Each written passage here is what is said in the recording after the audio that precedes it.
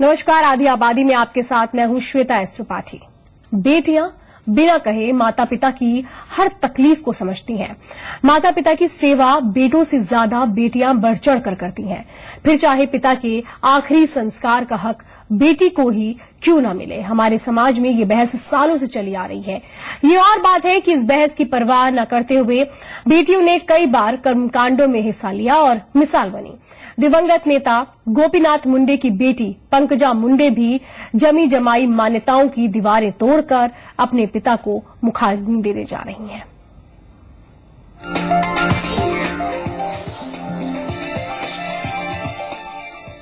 दो बजे अंतिम संस्कार किया जाएगा और मुखाग्नि देंगी पंकजा मुंडे। तीन बेटियाँ गोपीनाथ मुंडे की और इनमें बड़ी बेटी हैं पंकजा मुंडे। वही अंतिम संस्कार की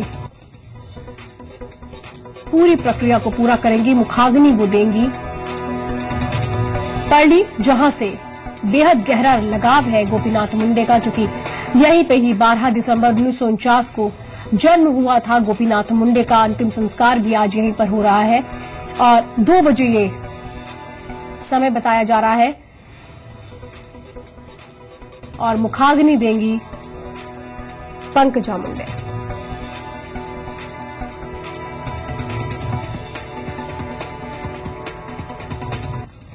और इस वक्त वाराणसी से हमारे साथ महासचिव अखिल भारतीय विद्युत परिषद कामेश्वर उपाध्याय जी हैं। कामेश्वर जी, स्वागत है आपका। जी। कामेश्वर जी, पहला सवाल मैं यही करना चाहती हूँ। वैदिक काल में जिन अधिकारों को दिया गया था महिलाओं को, वक्त दर वक्त वो अधिकार उनसे लिए जाते रहे। आखिर ऐसा क्यों हुआ? क्योंकि ज़रूरत तो ये रही है ही। अगर मानिए किसी के बेटे नहीं है, ऐसे में ज़िम्मेदारी बेटी, बेटियों के कंधों पे आ जाती है तो फिर उस परंपरा को वक्त दर वक्त क्यों बदला गया? क्योंकि वैदिक काल ने तो ये सारे अधिकार दे दिए थे महिलाओं को। निश्चित तौर से ऋषियों ने जिन सिद्धांतों को बनाया उसमें समस्त विकल्प के द्वार खुले हुए थे और उसमें दस प्रकार की जो संतानें होती थीं उन सभी संतानों को क्रमशः मुखाग्नि देने का अधिकार प्राप्त था और ध्वदेहिक क्रिया करने का अधिकार प्राप्त था। बेटियों को भी सभी प्रकार की धार्मिक क्रियाओं को करने का अधिकार प्राप्त रहा है और ये आज भी चल रहा है। ज्येष्ठ पुत्र के प्रति ज़्यादा लगाव होता है लोगों को और वो धारणा रही है कि ज्येष्ठ पुत्र द्वारा मुखाग्नि देने पर पुम नाम नरकात त्रायते इति पुत्र तो पुन नामक नरक से मुक्ति मिलती है। लेकिन वहीं भगवान श्री राम ज्येष्ठ पुत्र होते हुए भी अपने पिता श्री दशरथ जी को मुखाग्नि नहीं दे सके थे, वनगमन हो चला था। तो ऐसी स्थिति में क्रमशः उत्तरोत्तर उसकी व्यवस्था है, जब कोई नहीं रहे कन्या भी न रहे तो ब्राह्मण को अधिकार है अंत्येष्टि क्रिया करने का। अगर वो भी नहीं है तो राजा अधिकार प्रदान करता है कि कोई भी व्यक्ति किसी भी व्यक्ति का और ध्वदेहिक कर्म कर सकता है। इस प्रकार से ये जो मृत्यु जनित जिसे अंत्येष्टि संस्कार कहते हैं इसमें कन्याओं को संपूर्ण अधिकार है और निष्ठापूर्वक उन्हें पिंडदान करना चाहिए और समस्त क्रियाओं का पालन करना चाहिए। मलिन षोडशी मध्यम षोडशी और उत्तम षोडशी को करना चाहिए। एक और बात आती है कि अगर 77 वर्ष सात माह सात दिन से पूर्व अगर मृत्यु हो जाती है और वो भी आकस्मिक किसी दुर्घटना के कारण तो उसमें नारायण बलि का भी विधान है। ऐसे में नारायण बलि आदि भी कर लेना चाहिए जिससे उस आत्मा को परम गति प्राप्त हो सके। और ऐसी स्थिति में हम काशी विद्वत समाज की ओर से परमात्मा से प्रार्थना करते हैं कि उस दिव्यात्मा को परम शांति की प्राप्ति हो और उनका परिवार और समस्त वैदिक विधान के द्वारा अंत्येष्टि कर्म कर सके। उनकी कन्याओं को, उनके परिवार की पत्नी को ये संबल ईश्वर की ओर से प्राप्त हो सके। ये अधिकार है, इसमें कहीं कोई शास्त्रतः अड़चन नहीं है। हम्म, बिल्कुल। और अगर आप भी इस कार्यक्रम में हमारे साथ जुड़ना चाहते हैं आपकी अगर अपनी कोई राय है इस कार्यक्रम के ज़रिए आप हमें देना चाहते हैं तो कुछ नंबर्स हम आपको दिखाने जा रहे हैं। नंबर्स पे कॉल करके आप हमारे साथ जुड़ सकते हैं। नंबर है zero one two zero two five double one zero six three इन नंबर्स पर कॉल कर सकते हैं आप और हमारे साथ इस कार्यक्रम में जुड़ सकते हैं। क्योंकि वाकई एक ऐसा विषय है ये जो अधिकार तो वैदिक काल में मिले थे, वैदिक ग्रंथों में भी इसका उल्लेख मिलता है, लेकिन वक्त के साथ साथ क्यों वो ज़रूरी बातें हमारे समाज से अलग दिखने लगी, विवाद शुरू हो गया इन विषयों पर, आखिर क्यों ऐसा हुआ, यही समझने की कोशिश है। आप इन नंबर्स पर कॉल कर सकते हैं। कामेश्वर उपाध्याय जी भी हमारे साथ हैं। आप उनसे सवाल भी कर सकते हैं क्योंकि वाकई एक महत्वपूर्ण विषय है। कामेश्वर जी एक बात मैं समझना चाहती हूँ कि जो वैदिक काल में वैदिक ग्रंथों में जो तमाम बातें हैं इन परंपराओं का निर्वाह करने की ज़िम्मेदारी भी अ, अ, बहुत सारे लोगों पर रही। ऐसे में जो ये विवाद रहा कि बेटियाँ अगर मुखाग्नि देती हैं महिलाएँ अगर मुखाग्नि देती हैं तो ये विवाद आखिर क्यों विवाद का रूप लेता चला गया? जो चीज़ें स्पष्ट तौर पर वैदिक ग्रंथों में लिखी हैं उसको इस तरीके से क्यों लेकर सामने आ गए कि उस पर विवाद खड़ा हो गया? उसमें तीन प्रकार की घटनाओं का उल्लेख प्राप्त होता है। एक तो ये कि जैसे कोई युवा मौत हो जाए और उसमें मुखाग्नि पत्नी की ओर से भी मुखाग्नि देने का विधान है, संतान की ओर से भी विधान है, और कोई पत्नी जाकर के पति के चिता पर आरोहण कर जाए, वो जीवित अपने को समर्पित कर दे अग्नि को। ऐसी भी घटनाएँ समाज में बहुत सी घट रही थी। उसको देखते हुए पत्नी को स्मशान स्थल तक जाने से रोका गया कि वो उद्वेग में, भाव भाव के अतिरिक्त में आकर के अपने शरीर का नाश न कर ले। और एक बात और कही गई कि ये सारे विधान करते समय अश्रुपात नहीं होना चाहिए चाहे पुरुष करे या स्त्री करे। अश्रुपात होने से वैदिक क्रिया में अड़चने आती हैं और उस आत्मा को परम गति प्राप्त होने में विघ्न आता है। और इस तेरह दिन के क्रम में मुखाग्नि देते समय यह ध्यान रखना चाहिए कि अशौच अवस्था अशुद्धि की स्त्री जनित न आए।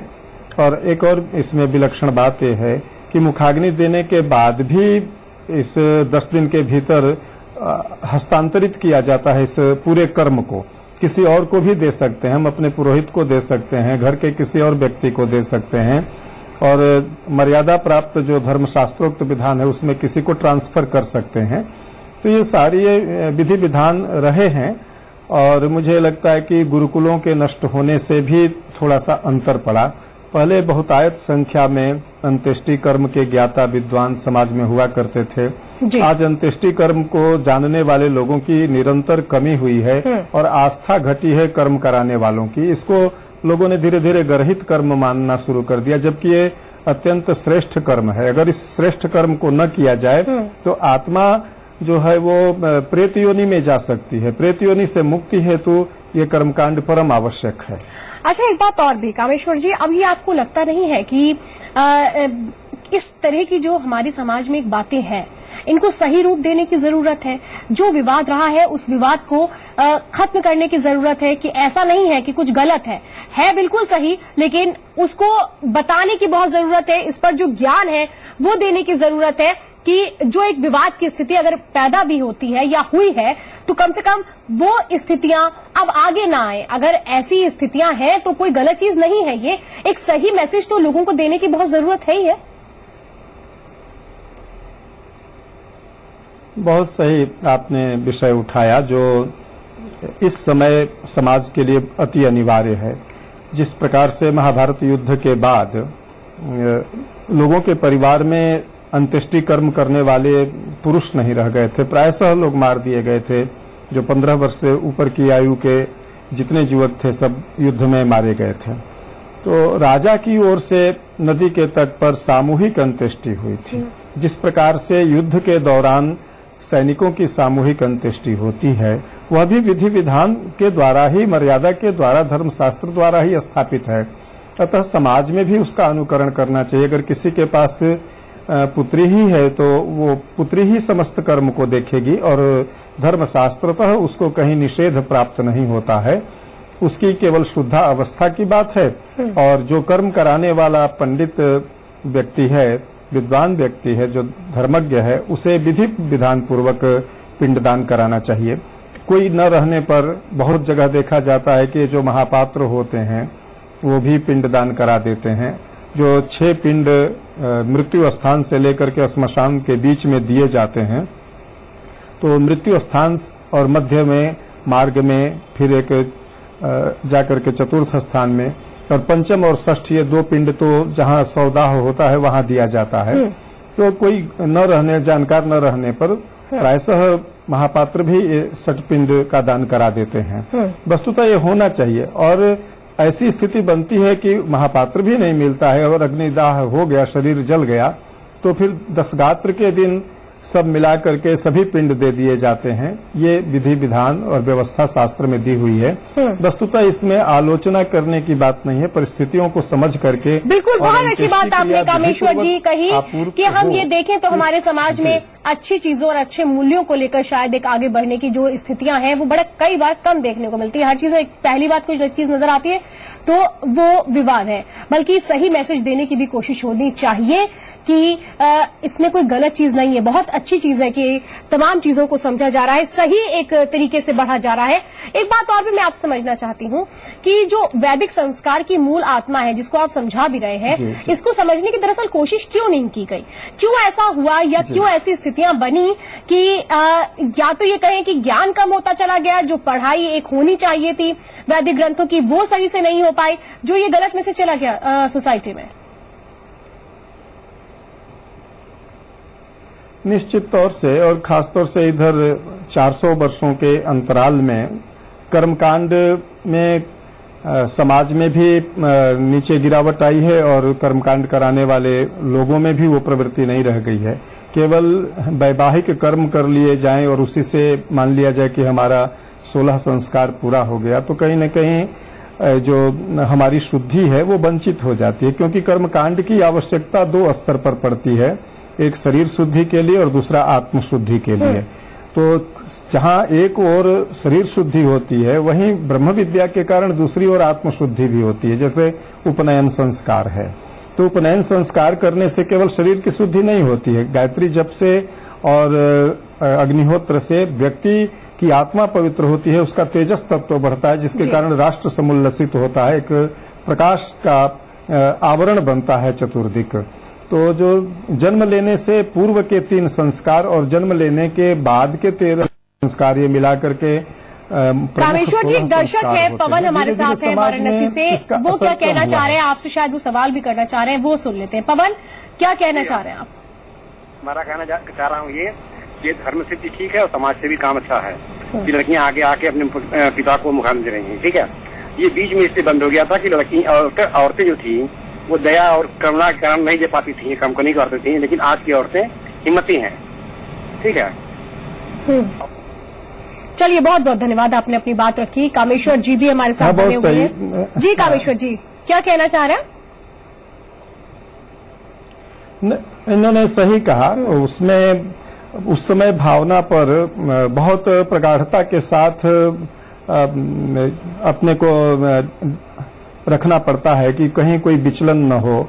और विशेष रूप से स्त्रियाँ भावुक होती हैं खास तौर से जहाँ पति पत, पत्नी का संबंध है वहाँ अकाल मृत्यु होने पर वो बाँध टूट जाता है धैर्य का। इसलिए भर्तृहरि के कालखंड में यह प्रतिबंध लग चुका था कि प्रायशः महिलाएँ स्मशान घाट पर जाकर के चिता में छलांग लगा जाती थीं।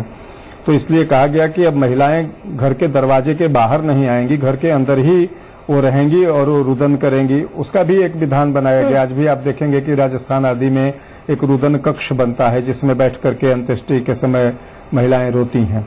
तो वो सारी परंपराएँ हैं। और वस्तुतः एक और जहाँ तेरह दिनों तक गरुण पुराण के पाठ से, गीता के पाठ से, और ये समस्त क्रियाकलापों के द्वारा परिवार धीरे धीरे एक आध्यात्मिक चित्तवृत्ति में प्रवेश करता है दूसरी ओर समझता है कि यात्रा हुई है आत्मा की यात्रा हुई है इस शरीर को छोड़ करके आत्मा किसी अन्य लोक में निकली है। लेकिन वस्तुतः जहाँ आयु पूरी नहीं हुई है वहाँ ये बात समझना इतना आसान नहीं होता है। हाँ। जिस तरह से अभिमन्यु की मृत्यु से पार्थ अत्यंत विचलित हो गए थे उसी तरह से कोई युवा मृत्यु से कोई भी व्यक्ति विचलित हो सकता है। इन सारी चीज़ों को देखते हुए समाज ने एक तात्कालिक जो व्यवस्था थी उसी व्यवस्था का प्रश्न है। इसमें शास्त्रता वस्तुता कोई निषेध नहीं है। पंकजा मुंडे ने इस वक्त मुखाग्नि दे दी है। अंतिम संस्कार हो चुका है गोपीनाथ मुंडे का। अ, बड़ी बेटी है गोपीनाथ मुंडे की। तीन बेटियों में बड़ी बेटी है। ये आप पर्ली की तस्वीरें देख रहे हैं जहाँ पर अंतिम संस्कार हो चुका है गोपीनाथ मुंडे का। और उनकी बड़ी बेटी। पंकजा ने दी है, मुखाग्नि।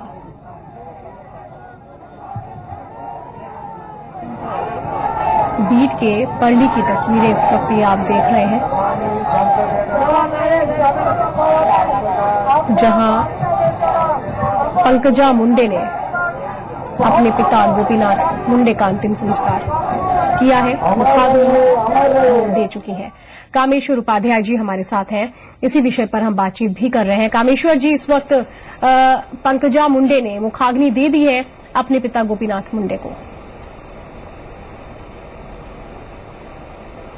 जी जी।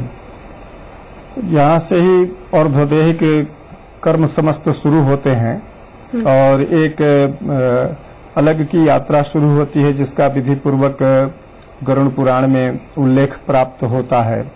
और तमाम प्रकार के आवरणों को, लोकों को पार करते हुए आत्मा अपनी गति से जहाँ प्रस्थान करना होता है, वहाँ वो प्रस्थान करती है। लेकिन आत्मा का संबंध इस धरती से त्रयोदशाह के बाद ही छूटता है। ऐसा शास्त्र में भी वर्णन है और प्रायशः अनुभव में भी उस व्यक्ति को प्राप्त होता है जो तेरह दिन तक का वो कृत्य वर्ण करके बैठता है पवित्रता पूर्वक अपना जीवन इन तेरह दिनों में व्यतीत करता है। भूमि पर शयन करना सामान्य अति सामान्य भोजन करना जिसमें तेल घी आदि का प्रयोग न हो। तो जो जितने प्रकार के ये वर्जनाएँ प्राप्त होती हैं उन वर्जनाओं को करते हुए एकदम सात्विक जीवन जीते हुए उस आत्मा के लिए समस्त आध्यात्मिक और वैदिक क्रियाओं को संपन्न कराने से अत्यंत लाभ होता है और आत्मा अपनी सदगति प्राप्त करती है किसी ऐसे शरीर को नहीं प्राप्त करती है जो उसके लिए कष्टकारी होता है। जी एक बात और। शास्त्रों में लिखा हुआ है जी। कि आत्मा जब जिस शरीर में जी। जी कामेश्वर जी बात आत्मा जिस शरीर में प्रवेश करती है उस शरीर से इतना बंध उस शरीर से इतना बंध जाती है कि उस अन्य सारी चीज़ें उसकी विस्मृत हो जाती हैं। और बामन पुराण में एक उल्लेख आता है कि जब ऋतध्वज ऋषि से शापित होकर के त्वष्टा बंदर शरीर में प्रवेश करते हैं तो उनको ये याद है कि मैं देवता हूँ लेकिन बंदर शरीर में होने के कारण वो अन्य कुछ भी नहीं कर पाते हैं। उसी तरह से छलांग लगाना और सारी क्रियाओं को करना। इस तरह से ये क्रियाएँ जो होती हैं अंत्येष्टि की और जो पिंडदान होते हैं उससे अगले शरीर जीवन में शरीर का निर्माण होता है। कोई अंग खंड विखंड न हो कोई अंग अधूरा न रह जाए इसका पूरा मंत्रों में ध्यान होता है। इसलिए तेरह दिन का ये कर्म अत्यंत शुभता पूर्वक और पवित्रता पूर्वक किया जाता है। इसमें नारायण बलि करने से उस आत्मा को व्यापक लाभ मिलता है, एक आध्यात्मिक लाभ मिलता है और उस परम पुरुष, विराट पुरुष की ओर से आत्मा में शुचिता आती है, तेजस्विता आती है और वो आत्मा भटक नहीं पाती है।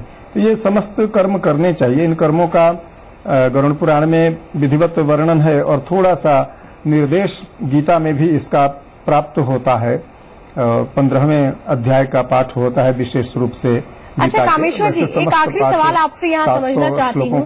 जिस तरह से पंकजा ने अपने पिता को मुखाग्नि दी है ज़रूर कहीं ना कहीं ये मैसेज तो गया ही है कि अ, कुछ भी बातें होती रहें लेकिन जो चीज़ें वैदिक काल में रही हैं जो एक अधिकार मिला है हमेशा ही महिलाओं को इन्हीं अधिकारों के तहत उन्हीं मान्यताओं को समझने की ज़रूरत है। हमारे समाज में अगर कहीं ना कहीं इन चीज़ों को लेकर एक विवाद हुआ है तो उनको किनारे करते हुए अब वक्त है कि आप सही चीज़ों को लेकर आए। इससे ज़रूर एक ही मैसेज गया है। निस्संदेह और उनको वो अधिकार प्राप्त है। सचेष्ट होकर के उस अधिकार का अगर कोई धार्मिक अधिकार का पालन करता है और अपने अधिकार को समझते हुए कर्तव्य का निर्वहन करता है तो ये अत्यंत साधुवाद का कार्य है। और ऐसे बच्चियों को मैं विद्वत परिषद की ओर से साधुवाद देता हूँ, आशीर्वाद देता हूँ, और ईश्वर से प्रार्थना करता हूँ कि इन विदुषी बच्चियों में, श्रेयसी बच्चियों में इतनी शक्ति आए कि वो अपनी समस्त क्रियाओं को खड़ा होकर के निर्भयता पूर्वक आगे बढ़ाएँ, कर्म करें, क्योंकि वस्तुतः यहाँ स्त्री पुरुष का विभाजन नहीं है। यहाँ ये कर्म होना चाहिए, जो शास्त्र प्रतिपादित धर्मशास्त्रोक्त कर्म है, उस कर्म को करना महत्वपूर्ण है। उस घर की अगर वही बच्ची है और उस कर्म को करना चाह रही है तो उसे करने से नहीं रोका जा सकता। ज्येष्ठ पुत्र ही हो और उसकी निष्ठा न हो माँ बाप के प्रति उसके मन में अच्छे भाव न हो, और वो अपशब्दों का प्रयोग करता हो या उसमें कुलीनता न दिखे तो इससे अच्छा है कि बच्ची श्रद्धा पूर्वक उस कर्म को करे क्योंकि श्रद्धा पूर्वक किया जाने वाला पितृकर्म ही श्राद्ध कहलाता है। इसमें अगर श्रद्धा नहीं है तो अभिचार हो जाएगा और उससे बहुत भारी नुकसान होगा। इसलिए बच्चियों को आगे बढ़ करके जो अपने परिवार में अकेली हैं उन्हें आगे बढ़ करके इस धार्मिक कृत्य को अपने हाथ में लेना चाहिए तब देश ज़्यादा मज़बूत हो सकेगा। देश अधर्म की ओर ज़्यादा बढ़े ये उचित नहीं है। अगर बच्चियाँ धर्म को आकर के संभालती हैं तो निश्चित तौर से और ज़्यादा इसमें प्रगाढ़ता और प्रबलता आएगी। एक संदेश, यह निसंदेह जा रहा है। जी, बिल्कुल। कामेश्वर जी, आप हमारे साथ जुड़े। बहुत महत्वपूर्ण जानकारियाँ हमें आपके ज़रिए जानने को मिली। बहुत बहुत धन्यवाद। आधी आबादी में बस इतना ही। मुझे दीजिए इजाज़त। नमस्कार।